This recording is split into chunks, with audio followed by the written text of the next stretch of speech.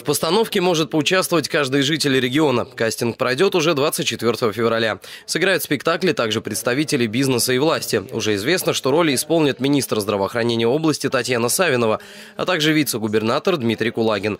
Вместе с непрофессиональными артистами на сцену выйдут уже опытные служители Мельпомены. Оба они из Санкт-Петербурга. В рамках пресс-конференции они рассказали о том, что согласились сыграть представление бесплатно.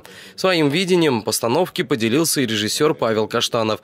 Он рассказал, что в основе пьесы судьба нескольких семей, находящихся в блокадном Ленинграде. Мы хотим поднять такую тему. Люди спокойно, мирно жили как мы с вами.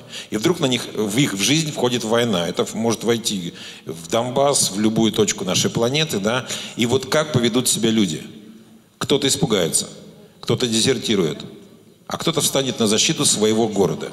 За основу сценария взято произведение Александра Штейна «Гостиница Астория». В рамках мероприятия планируется проведение благотворительного аукциона. Все средства от него, а также от продажи билетов будут направлены на благоустройство территории вокруг памятника детям войны в парке имени Гуськова областного центра.